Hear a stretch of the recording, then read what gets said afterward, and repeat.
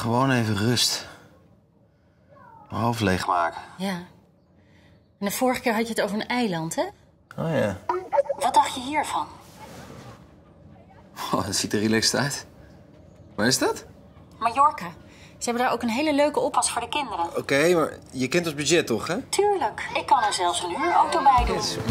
De persoonlijke reisassistent van D-Reizen zorgt ervoor dat de vakantiezoeken geen gedoe meer is. In de grootste online vakantiewinkel van Nederland vindt zij altijd een aanbieding die bij je past. D-Reizen. We gaan ver.